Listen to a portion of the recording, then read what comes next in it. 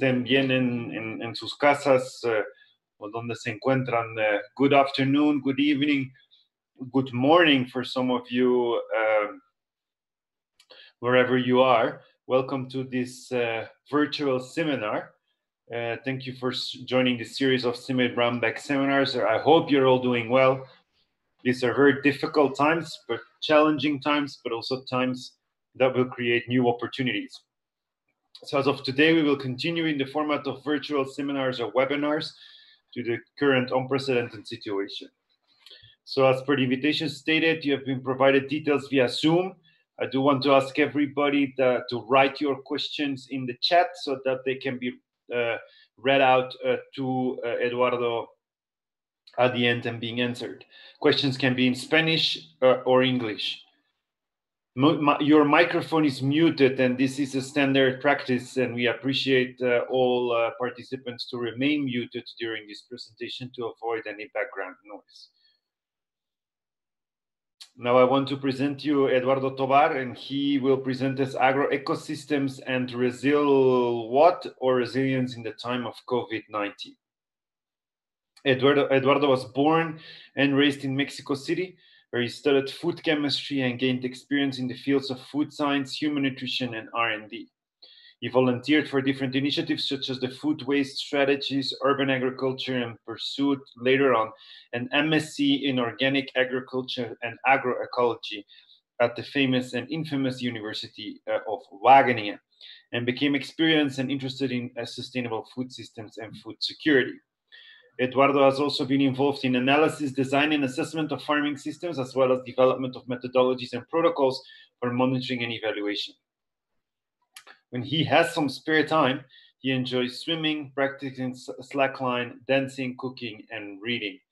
So uh, that for sure are all skills to be very resilient. So very interested in hearing what you have to share with us, Eduardo. Over to you. Thank you very much. Uh, so again, good morning, good afternoon, good evening. Depends on when, uh, where you are. Uh, buenos días, buenas tardes, buenas noches. So uh, first of all, I decided to to make this presentation in English because I thought uh, it's easier for people that speak Spanish to understand English than for people that speak English to understand Spanish. So that's that's why it's in English. And anyway, it's nice to, to practice for all of us. Why not? Um, so this presentation is entitled Agroecosystems and Resilient What? Or in Spanish, uh, Agroecosistemas y Resilique uh, or resilience in times of COVID-19. Uh, my name is Eduardo Tovar Lopez. I am part of the team of the Hub Peninsula de Yucatan.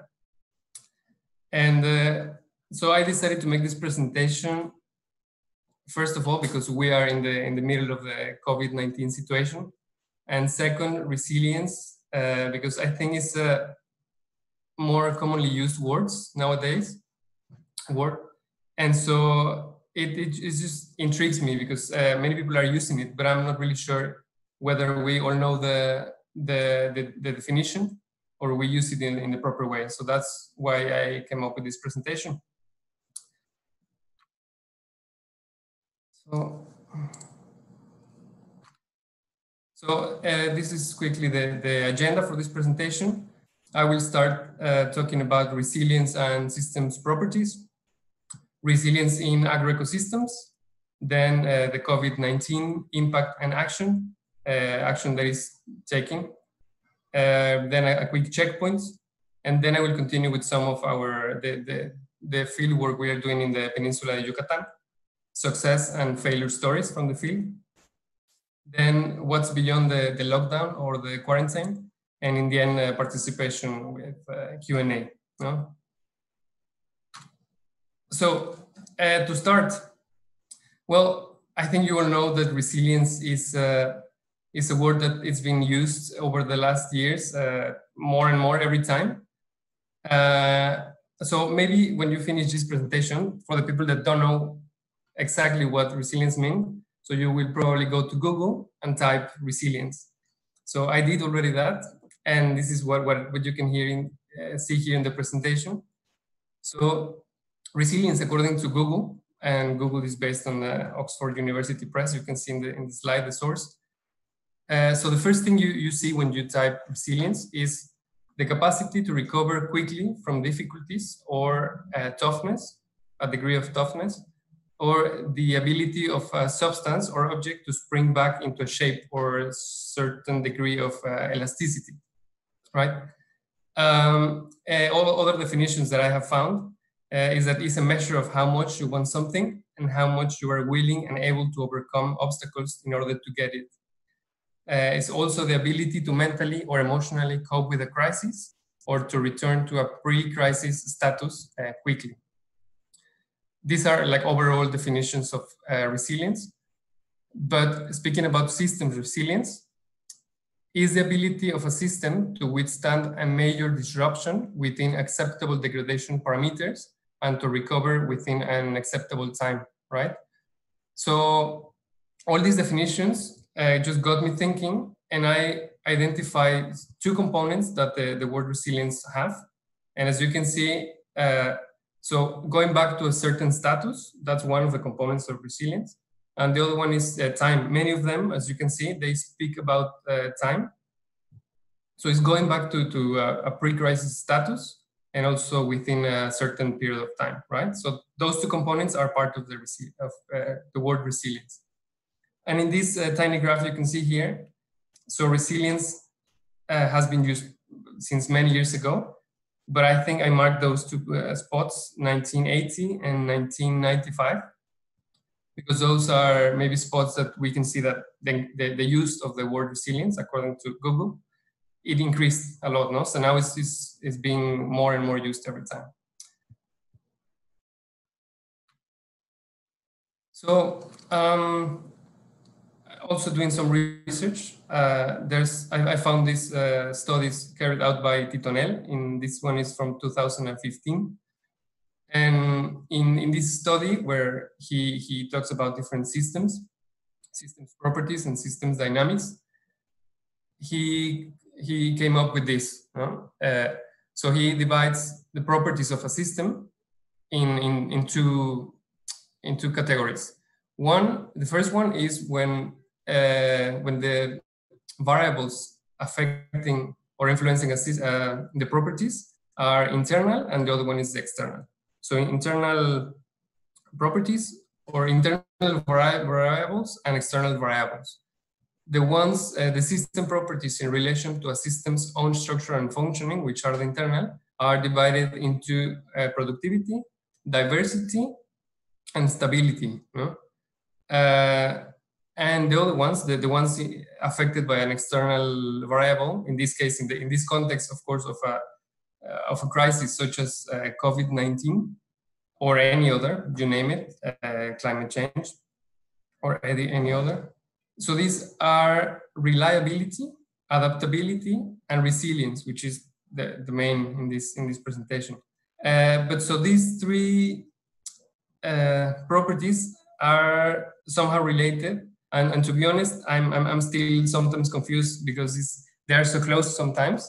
So I'm still in the in the learning curve for this. Um, so just to let you know, I don't have the absolute truth in this, but it's, it's, it's a research, research that I'm doing and I'm very intrigued by it. And maybe in the end, you can also express your opinion about this or ask anything. But so the first one, uh, reliability. So as you can see in this graph, in, in, in this black line, there is uh, like going up and down, up and down all the time. This is the external variable affecting a system, right? So it's affect, affecting the system over a period of time. And then the response of the system, which is uh, the red and the blue lines, uh, this is translated in, into the reliability property, uh, showing two, two, let's say two ways, no? So when this, there's this variable affecting the system, one response could, could be that the system in a specific parameter you're looking for goes up and down and up and down and it's not very i mean speaking about this topic it's not very re reliable right? You cannot really trust it because uh, the effect the effect of this variable it just makes that your system goes like this basically. So this uh, we're talking about a low reliable uh, system And in the opposite, a high reliable system is when, when the target, let's say a target could be the soil organic matter of a, of a plot, of a farm. The soil organic matter could be uh, relatively stable no? over time, which talks about a, a more reliable system. So this is reliability. We also have adaptability. Adaptability is more about, you can see the, the external variable, which is the black one. Uh, there's external variable over time, and then there's a sudden change in the variable, it goes down, and then it continues. But this is basically uh, meaning that the external variable changed completely no? in, in a different direction. Uh, maybe easier to understand if we talk about, let's say, the local government changed. Uh, this is the external variable. No? It was certain government, then came a, a new one, and there's a different uh, variable now. And how your, does your system respond to that? Uh, so a low adaptable system would be that in the moment of the change, the target you're looking for, in this case, let's uh, talk about maybe yield, yield of a crop, it just goes down, no? So you're losing your yield because of this change in the in the variable, in the external variable. Uh, on the other hand, a high adaptable system is when uh, this yield would remain stable despite this change in the variable, right? And, and then we have the um, the resilience, which is if you see the the external variable, there's a there are small changes, then there's a big change or a uh, let's say a COVID crisis, no, or a climate change, uh, extreme events, and then how does your system respond uh, respond to that? So a low resilient system would just drops in the in the target. Let's speak about yield again. So the yield goes down, very very low, and then it just recovers slowly over time. You can see it in the graph and then the high resilient system just goes down and goes up um, faster. So I put there with the two arrows these two components of the resilience that I was telling you before. One is the component of the time. So the low resilience system uh, goes back to the pre-crisis status in a longer time, and the res more resilient system goes back to this uh, status in a shorter period, right? So it goes back to normal uh, faster, basically. And in the end, you can see that both reach the pre-crisis status. In the end, they are both resilient, I think, because they went back to status. But maybe it could be the case that they don't even go back to the same uh, to maintain this target yield that they wanted. So maybe they are not resilient at all, right? So this is uh, just to just to explain these these three variables that I think they're important especially the, the, the resilience, and to see how, uh, based on these uh, properties, how much you can trust your, your system. So taking this into um, agroecosystems, uh, well, we know and we see here, and probably you know more than me, but there's already a lot of uh, research in resilience in agroecosystems. Um, especially most of the research we, we found is related to climate change, adaptation, and uh, mitigation. No? So you can see some here, like agroecosystem resilience and farmers' perception of, of climate change, uh, capturing agroecosystem vulnerability and resilience, etc. These are just a few examples. Um, and most of them related to climate change and uh, mitigation and adaptation. No? But what about other uh, system disruptions? Let's uh, let's bring again the, the topic, no? COVID-19. What about in, in these cases? Is there any any research about this uh, resilience in agro ecosystems in all in these other contexts? So just to show you that there's already a lot of research about resilience, it's of course not a, a new word. Uh, but in a, in a nutshell, or in short, in order to have uh, more resilient agroecosystems, according to some basic research I did in these uh, papers, uh, the following is, is, is uh, needed. So diversi diversification of crops and practices, and knowledge sharing, maybe among farmers, but also probably considering or valuing indigenous knowledge and uh, scientific knowledge. Um, interaction and involvement of different stakeholders. Uh, we will see that also later. Uh, water and soil conservation practices, of course, focus on natural resources. And a very important one that I, I hope I can manage to, uh, to, to, to, to, to give you clarity on what I, what I, I, I mean with this, uh, but focus more on relations rather than elements of a system. So I, this, this one is special, uh, so I will repeat it in the end, but I want you to keep in mind. So focus more on relations rather than elements. Um, so a quick, also a quick, very quick research I did on COVID-19 impacts uh, on agroecosystems and agriculture. You can see many here. I think you have already seen, we have been bombarded by, by these um, everywhere on the, on the internet or even from one person to another one. Um, so we'll perceive that, uh, of course, the, there is a, a, crisis and there will be a, a crisis. Uh, and with all these messages, there seems uh, to me that everyone has answers and has solutions and recommendations. Seems like everyone is expert. But sometimes it also seems to me that the recommendations or uh, expertise just goes in different directions and it's not very clear, no? Seems like everyone is putting their own best solutions. So sometimes can be uh, a bit confusing, uh, I think. Uh, the good news is that I, there is also some or, order or some structure already. So this is a very short timeline to show that we, we started with this uh, spread spread of information um, uh, moment, no?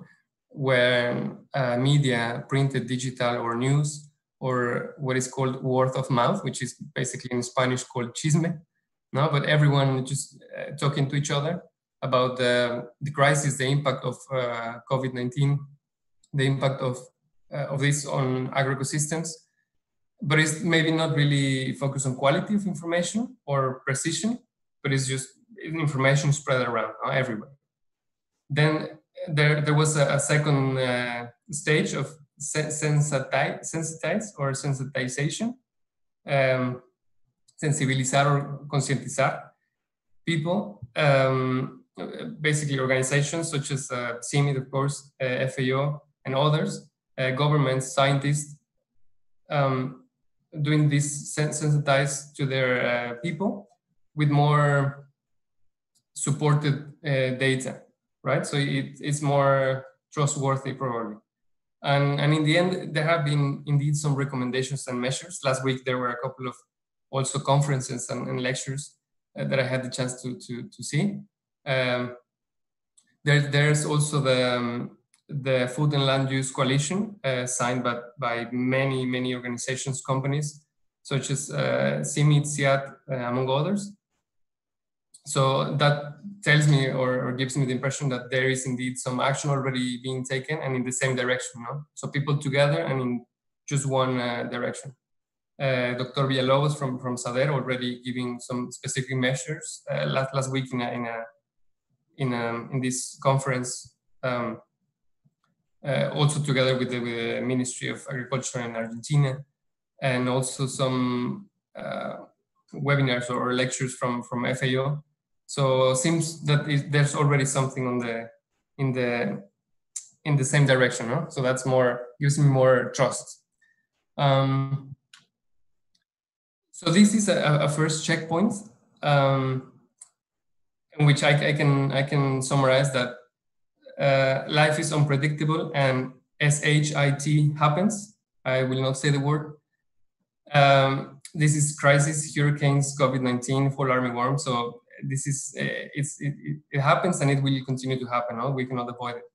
But also, and this might sound a bit like a superhero movie, but is I think it's true that also with change comes uh, opportunity, opportunities. Uh, there's there's a chance to to improve things. Also, resilience is important. Yes, I think so.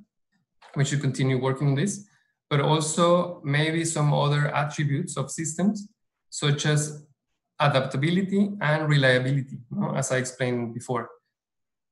And also seems to me that there's already a lot of research, a lot of answers and recommendations, but uh, in many different directions, but also some actions being taken already in a, in a same direction, which is which is good. Huh? So this is the first part of the presentation, checkpoint, and then I will get into another topic. This I will I will explain more of what we as a team are doing in uh, in the Peninsula of Yucatan. Uh, I named this success and failure stories from the field. This because their success indeed, but of course uh, there has been failure. No, there's no success without failure, and I think sometimes in, uh, in, in, a, in a, from a personal perspective, sometimes I learn more from failure than from success. Um, so that's why I mentioned this. Uh, so as, as, a, as a context, how Peninsula Yucatan uh, is located, of course, in the Peninsula Yucatan, in the three states, in Campeche, Yucatan, and Quintana Roo. Some, uh, some, some data from, the, from this place is that it's mainly a flat area. Um, the average altitude is 50 meters above sea level. Um, and there's a small, we can call it mountainous region in the center south of the peninsula between Campeche and Quintana Roo which can be up to 350 meters above sea level. That's the highest probably point. Uh, the soils are based in limestone. They are young soils. Um, the, the, the, the, climate, the weather is tropical uh, and summer, and I would even say late summer rains. And we have basically two uh, production systems. No? um, intensive mechanized systems and milpa systems. And probably each of these can have more um, subsections or subcategories, but it's basically these two. So in the hub uh, peninsula Yucatan, we have a, a we have a, a, a mission. Uh, this one is based on or is, is targeted towards the increase and stabilization of uh, production of crops, uh, the increase of resilience of the systems, and to contribute to food security, right? So in order to achieve this, we have uh, we have uh, projects, and this is thanks to these investors I, I show on the on the screen: uh, Secretaría de Agricultura, uh, Walmart Foundation, Gruma, City Citibanamex, Fomento Social Banamex, and Fundación Haciendas del Mundo Maya. Um, and thanks to this, we are uh, putting this into action and transforming with these means that, that you can see there that are technological innovation and capacity development, basically. And to land this a bit more, uh, specifically, I'm showing you some pictures, a bit more interesting. Um, so together with some farmers and, and researchers. Uh, this picture you can see here is in, is in Yucatan, but we have already did some applied research in the fields and found some possible solutions to have more um, resilient systems, farming systems. And some of these practices are this one you can see here. And so this one is, um, well, you can see a, a, maize plot. If I don't know if there's someone here that doesn't know much about plants or or agronomy or agroecology, but these are maize or corn plants. Uh, I think you can see very clearly that from the center to your left, uh, there are these plants that are a bit dark, more uh, darker green, a bit taller, and you can see clearly that from the center to the right, they are a bit short, shorter than the other ones. Um, so this is part of, of our research we did uh, together with the UADY, Universidad Autónoma de Yucatán, uh, Dr. Castillo and Dr. Nora Honsdorf. We evaluated here some treatments as uh, such as burn and no burn in the field. Uh, also spatial arrangement of maize or corn. spatial re uh, referred to space, not uh, not special, but spatial. Um, re uh, regarding the, the, space where you put the seeds. So between so be between plants, one meter of uh, distance and also between the, the rows of, of plants, also one meter, and the other treatment between one meter between uh, these rows of plants and half a meter between, between the plants, right? So these are two different treatments.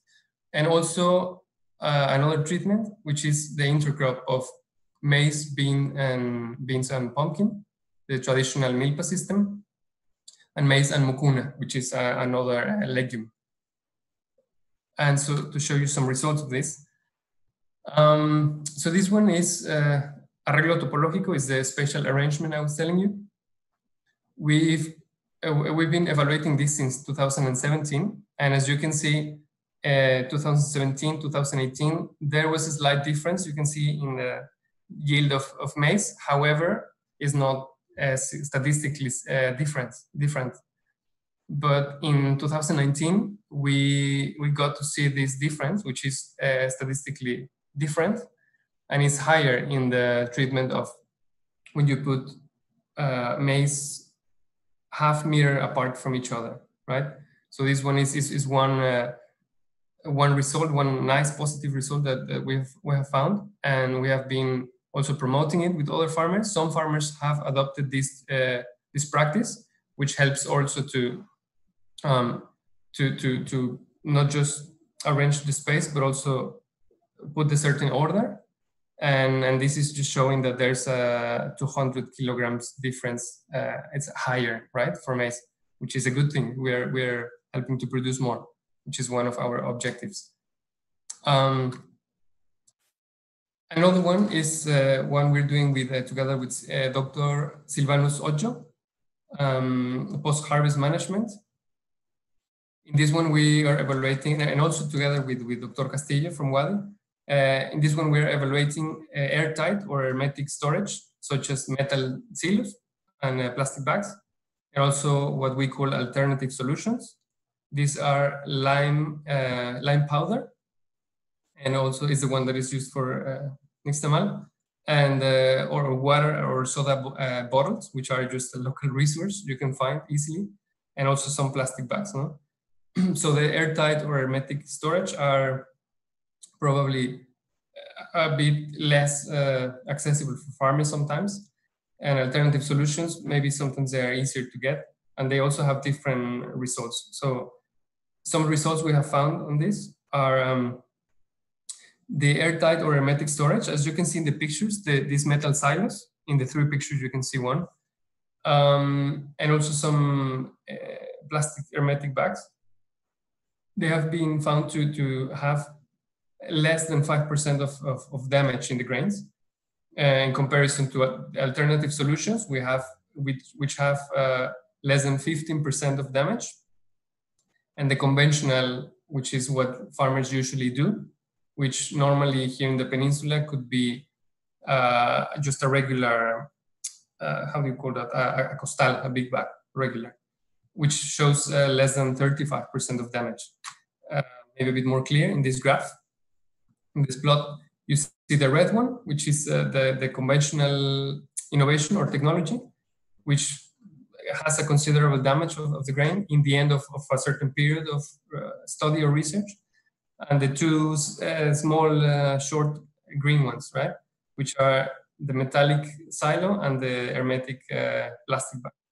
So this is another technology that has shown, uh, I think, very good results in terms of uh, saving, saving, um, saving grain, saving food that goes to to waste that is uh, damaged by many insects. And also in this one, we are promoting through different people, through different practices. And luckily farmers are, are also adopting. We are here also working with the, uh, with the um, supply or, or, promotion of, of technologies, because also sometimes uh, the data is there, the research, the results are there, but sometimes um, it needs more and more effort to, to have actually the accessibility for the technology. So we are also working on that. Um, another also, I think, big result, thanks to a lot of people and the, and the team, and especially Dr. Uh, Ravi Singh from, the, from our program. Um, legumes and oil crops for ecosystem services, such as uh, food for humans, feed for animals, nitrogen fixation uh, capacity, against soil compaction, um, weed management, beneficial insects, among many others, right? Some of these crops that we are uh, testing in, in the peninsula are pigeon pea, in Spanish is called uh, chicharo gandul, sunflower, uh, mung bean, cowpea, which is a, a, a local bean, uh, here is called espelon, uh, sesame, peanut, or fodder peanut. Um, uh, you can see in, in the, in, the, pictures on the right side in this long uh, long image, uh, we can see the, the chicharo gandul or pigeon pea. It's, it's, this one is great against uh, weeds, and you can see other other crops there. No? So these are showing many ecosystem services. One of my first impressions of this was that the first time I, I went to, to, to, a trial with many of these crops together, uh, the first thing you, you, realize, you, realize is that you enter and immediately you see all these uh, 20 different insects flying around, which is not very common in other plots, such as when you have just maize, no? So I think that's a, first impression that it's very nice to, to know that uh, beneficial insects, fauna, things are happening there. So there are dynamics between the system. Um, so this is also starting to show some results. I, I still don't have results to show you, but look, uh, hopefully in the coming years, uh, next year, next cycle probably, we can show you some, some data. But this is also something we're doing and it's showing already something. Um, and, and, and this one also, this is a, um, the network analysis.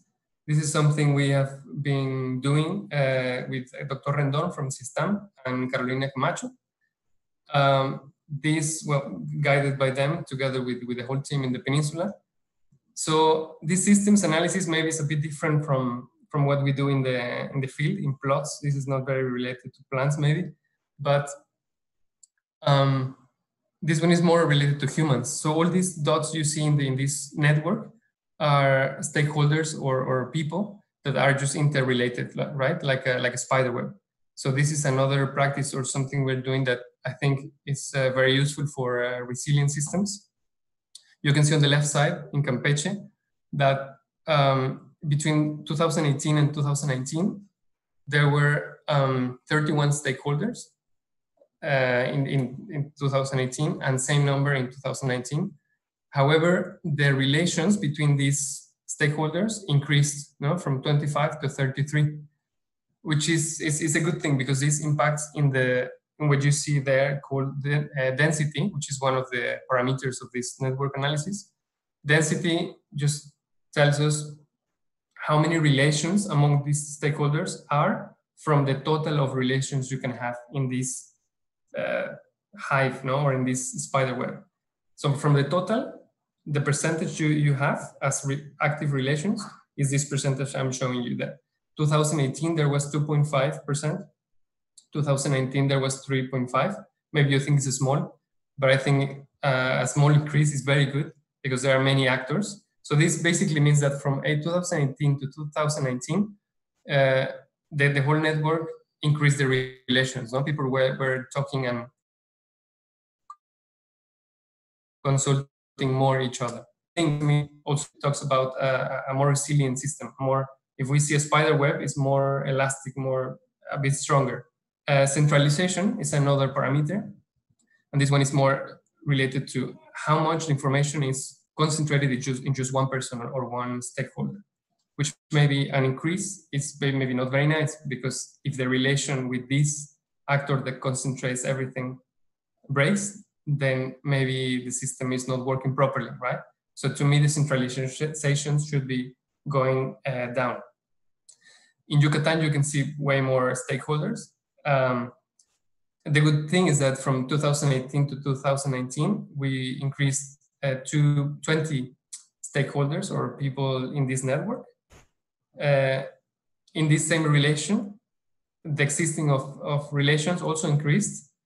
However, since the number of, of the stakeholders and the relations increased like um, in, in the same, uh, how do you say that? In the same order, let's say, the density didn't increase, right? but I think it's still a good thing because actors, stakeholders grew and also relations.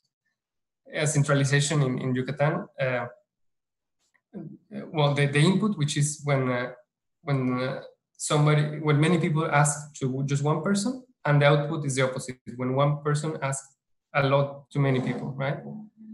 Um, so centralization in Yucatan, I, I think it, it, didn't change as much as in Campeche.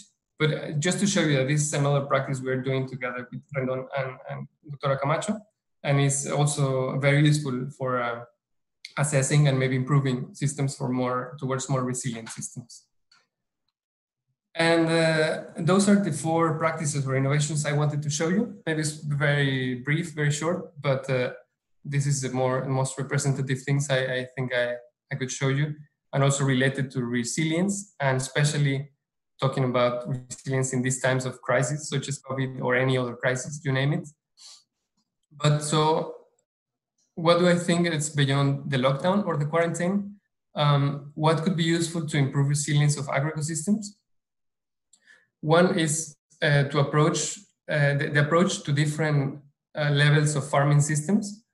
Sometimes we focus too much on, on a plot or field level, maybe, but what about approaching farm, household, or even community or landscape? And this relates to the way we measure things, right?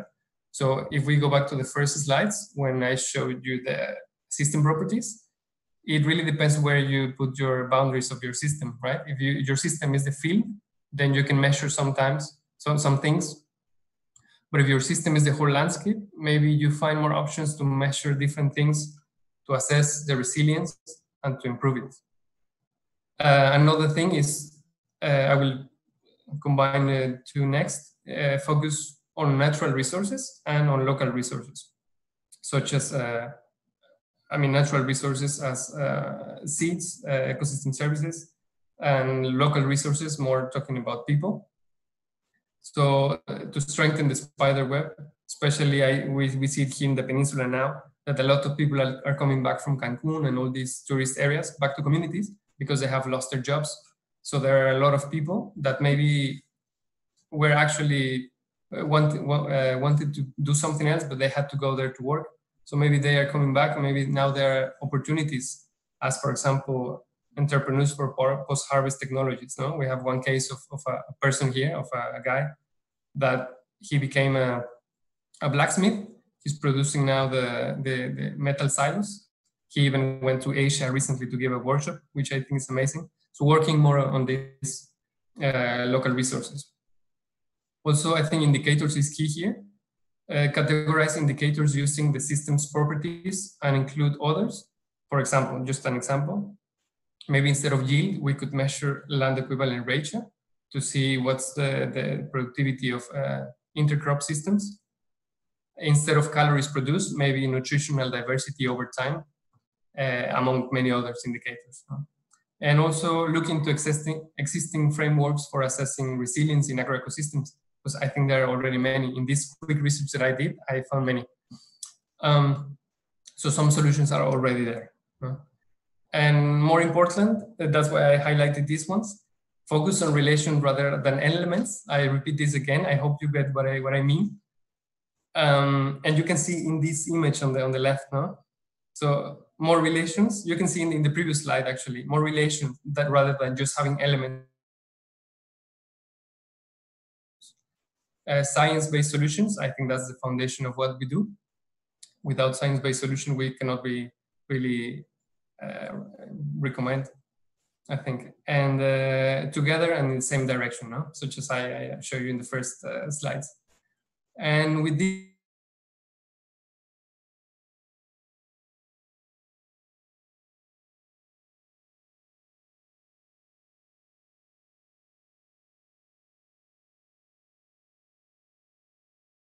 still there. Um, and so lastly, when I think about resilience, I think about spider webs. And I want to ask you, what comes to your mind when you think about resilience? Uh, and with this, I, I also want to thank uh, the whole team, not the ones I mentioned, but also there are a lot of people behind this. Uh, the, the, the, close staff from the hub, uh, Carolina, uh, Vladimir, Eugenio, Suelen, Eileen, Edgar, etc. There are many people uh, back uh, supporting all these all these results I show you. And uh, thank you very much. I don't know if I used more of the time, but uh, thank you very much. Hashtag La Agricultura Sigue. And there's some my contact details if you want to contact me. Uh, thank you very much. And I think now it's time for questions or comments. Uh, yes, thank you. Uh, thank you, Eduardo. We have one um, first question from Thomas Payne. Uh, he's asking how does resilience relate to the broad adaptation of the wheat varieties that CIMMYT develops? To, to the what? Sorry? Um, how does resilience relate to the broad adaptation of the wheat varieties that CIMMYT develops? To the adaptation and of, of uh -huh. uh, wheat varieties that CIMMYT develops? Yes. Um, so I think, I mean, uh, no, not just wheat, but also maize varieties are being developed. And these, I think these seeds are a component of, of the system. Uh, and the seeds indeed are one component or tool that could make systems more resilient, I think. I, I cannot tell you specifically, specifically about the special characteristics of, of seeds, uh, since I'm not a, a seed developer, but I, I, I see the, these seeds as just one more component to help the system become more uh, resilient. I don't know if I'm asking, uh, I'm answering actually, but uh, I hope I answered the question. Or, or you can maybe explain more. Yeah. Thank you. Um, there's a second question from uh, Tania Casaya, and it says, uh, hubs as enabling environment actors, how does resilience relate with the scaling processes? Taking, in, taking into account that the innovation network concept of the hub means also that the external events will affect differently every one of the actors. Okay, so how it relates to scaling? That's a very good question. Um, so with, with resilience, I think scaling up, I think they're very related. I think you cannot really scale up if uh, if you're resilient because if uh, there's a system, an innovation network, a hub, uh, a region, and you're scaling up, which to me scaling up uh, tells about uh, speaks about whole sustainable system. If you're scaling up, you will always have crises or disruptions coming into your system. And if this system that is scaling is not resilient, then you will go down, you will not progress. So I think in order to do scaling up, you need to have a very resilient system. Otherwise, uh, I think we will see that indeed it's maybe not scaling up properly. Am I answering correctly or enough? well, um, let's see more further comments. And there's one more question. This one is in Spanish. Uh, should I'm going to read it in Spanish. Um, en sistemas sí, sí, bien. Es, eh, from Alberto Chazain. Eh, en sistemas agrícolas resilientes y estables en Yucatán y Campeche, eh, Cam Yucatán, Campeche, ¿qué porcentaje le asignarías a la selección correcta de las variedades eh, genéticas eh, versus el manejo agronómico adecuado de los cultivos. Versus el manejo agronómico de los cultivos. Ok, o sea, teniendo el manejo agronómico, entiendo, y las diferentes variedades o la genética de las semillas, ¿qué porcentaje, qué porcentaje contribuye a la resiliencia? Um, Alberto, if, if, you would, if you would like to, uh, si gustas agregar un poquito más a tu pregunta, sí, dice que sí. Oh, ok, este, bien, gracias por la pregunta. Eh, híjole, es, es, difícil asignar un porcentaje. Eh, definitivamente son parte de, este, yo creo que definitivamente sería un, porcentaje, eh, ¿cómo decirlo? No, no, es, no es la mayor parte, ¿no? Si tenemos un 100%, no sería más del 50, creo yo. Creo yo que el, este, junto con el manejo, eh, ok, viéndolo como, como semillas y como manejo, pues yo creo que el 50 y 50, ¿no? Pero pensando en, semillas por un lado, un manejo acá, un manejo acá, un manejo acá, pues ya como que se diluye. Pero bueno, pensando en, la diversidad de semillas, la genética y las prácticas eh, agrícolas, creo que, creo que están muy a la par. Creo que podría ser un 50-50. Okay, um, there is one more question uh, from Surinder. Uh, how to work on a spider web approach under current quarantine-like situations for post-harvest managements? How to work in spider web approach I, I, am not sure if you mean, I'm just not sure if you mean the spider web, um, the network analysis I showed, or you mean like a graph of a spider web. ¿Puedes repetir la pregunta, Isabel, por favor? Sí. How to work on a spider web approach under current quarantine-like situations for post-harvest management? Okay. Um, uh, quarantine situation for post-harvest management. Right. So how to work in a spider web approach? Um, so from if I think of in the in this classical spider web uh, plot or graph we usually we, we, we use, um, I think we first need to identify the critical points of post-harvest management. So let's say climatic or weather um, um, points or, or uh, how to say, I lost the word, uh, climatic uh, points, um, uh, plagues, uh, the practices. So you identify the critical points that affect the post-harvest management. Um, and then you just assess the, these critical points of where you are in each one. And then you are uh, i guess in that way you can identify where you need to improve your post-harvest management practices. This is thinking in a spider web uh, plot uh, and in, in, the in the other way in the network analysis. Um, uh, I think is is is just what what we did, but focus on the post-harvest um, management, right? So you you, you target, you survey or interview all the people around post-harvest management. So the users, farmers, of course, uh, suppliers or producers of, uh, of post-harvest technologies, also the government. So everyone involved in the whole ecosystem of post-harvest. And, uh, and then you, you trace where, where is each individual or each stakeholder, and then you trace the relations if there are not too many relations here, it means that probably you need to improve your relations there in order to have a more resilient system. Thank you. Uh, we have to, uh, as we have participants at live stream, we have 22 participants live stream, uh, about 83 participants via Zoom. So a very good audience. Thank you to all. Uh, we have two further questions at live stream. Uh, one from Carolina Camacho. Uh, uh, she would like to listen Eduardo opinion of the work that we are doing on traditional, sorry, sorry, sorry, I lost it.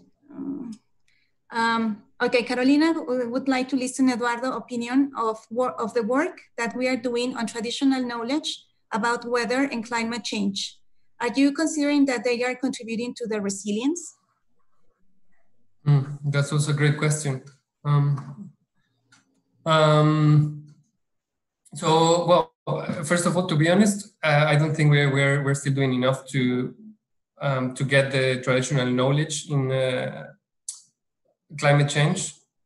Um, so I, th I think there are other ways we're looking at, at, at, traditional knowledge. Maybe we started looking at, at the MILPA system itself, but I think we, we have we have read and, and um, and, and, and we know some, some things now about that there is indeed some traditional knowledge about uh, uh, climate change, such as this uh, cloud uh, perspective or cloud shape that one time we were talking about. Uh, so we know there's something, but I think we just haven't uh, included in the in our work yet enough. So yeah, with that, I cannot really say that is contributing but I'm, I'm sure it will contribute in, uh, when we include it in, the, in our work. Uh, thank you. Uh, we have another one from um, Arturo Tobar. Uh, what is or should be the key to resilience in corn agriculture during a crisis like the one we are living now? In, in what kind of agriculture? What is, what is what is it or should be the key to resilience in corn agriculture during a crisis like the one we are living now? What should what be should be the resilience to resilience in corn agriculture?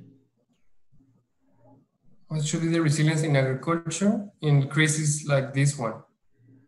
In corn, he's um, referring to maize, maize uh, or uh, corn agriculture.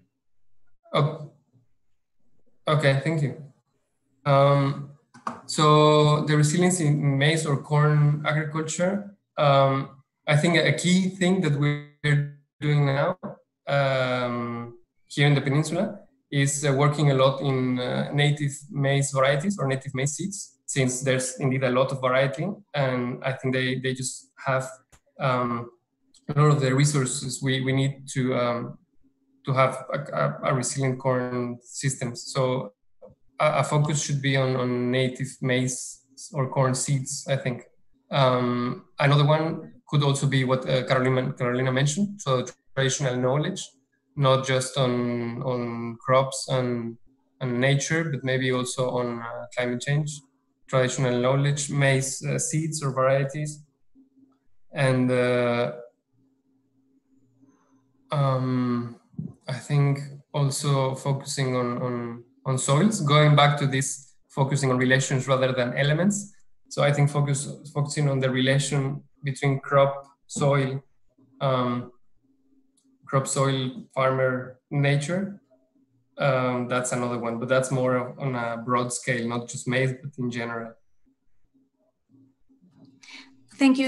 We have time for one more question. Uh, here we have from Sánchez, uh, Carla Sánchez, I think. Uh, it is in Spanish.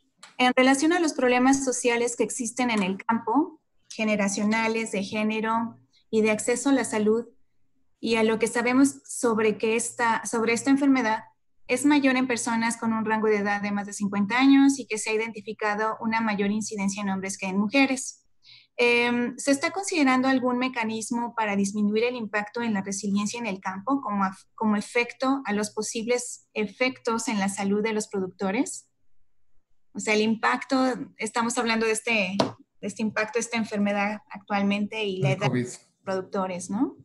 Ok, y, la pregunta es si, si, estamos tomando alguna acción para... Eh, sí, así es, algún mecanismo para disminuir este impacto. Eh, bueno, creo que indirectamente las, las innovaciones que les mostré, entre otras, indirectamente obviamente tienen un, efecto, ¿no? Creo que ayudar a, producir más eh, o, producir mejor eh, de forma más sustentable, más productiva, indirectamente afectan porque creo que una mejor nutrición, mayor disponibilidad, disponibilidad de alimentos impacta en una mejor salud. Así que quizás de forma indirecta de esta forma.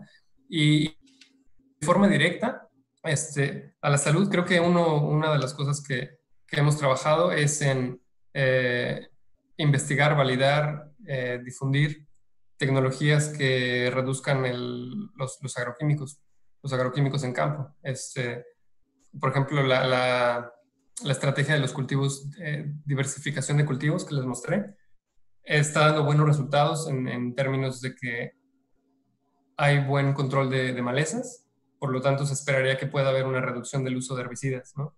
Creo que eso impacta directamente a la salud. Quizás no en relación al COVID, pero sí en relación a la salud.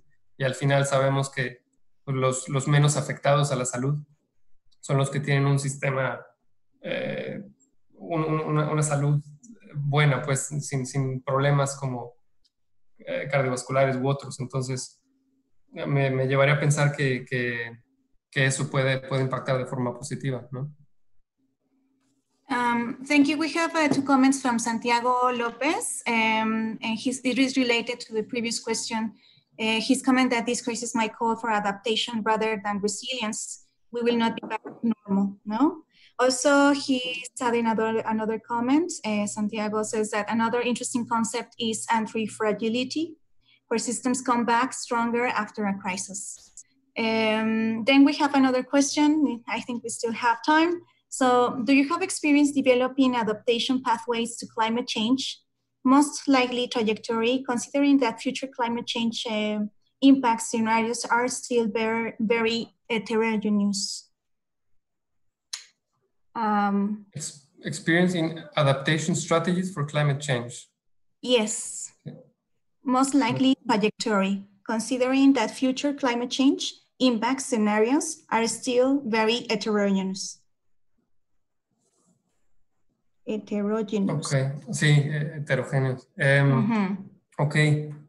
Uh, I'm, I'm, I'm, I'm not sure. I, I, I don't think I have, uh, I have enough experience to answer that or to, to tell you, yes, I have all the experience in the world about climate change adaptation. I think um, what, what, I, what I can tell you from, and from what I show uh, is that um, using the, this or mixing or using traditional knowledge, as uh, Carolina was mentioning, uh, is important and is, is key is a key part of uh, climate change adaptation strategies. And other strategies are um, the ones in the field that I showed you. No? Maybe the spatial spatial arrangement, uh, post-harvest management, um, so this is what, I can tell you about. Uh, to me, the, this this could, could be means to as strategies to adapt to, to climate change.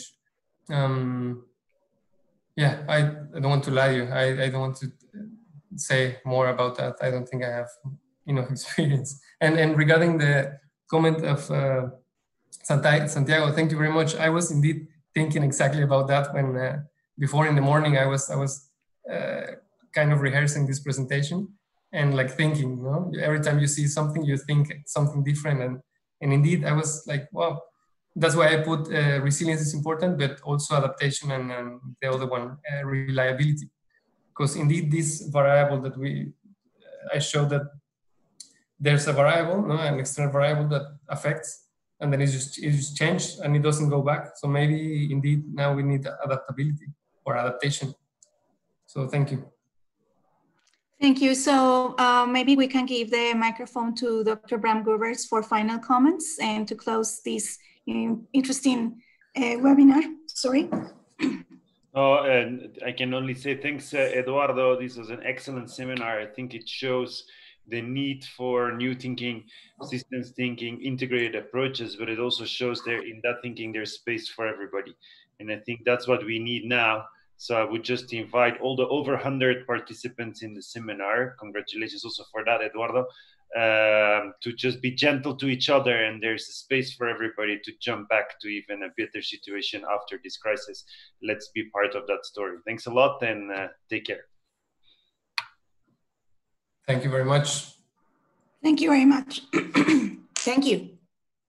Stay well.